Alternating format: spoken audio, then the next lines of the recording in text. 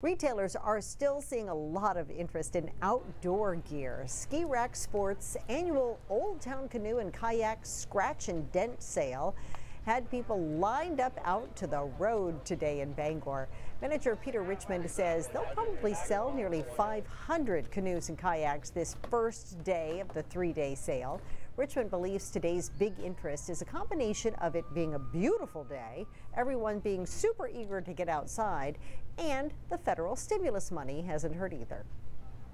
I mean, I just think you know people can't get can't go and, and travel, and so you know obviously we have excess uh, income and, and uh, revenue and spending, and so yeah, for sure people are looking for a way to get outside, whether it's biking or kayaking. Richmond says the sale was originally held at the Old Town Factory, but they took it over about 10 years ago, and it's become like a rite of spring for them.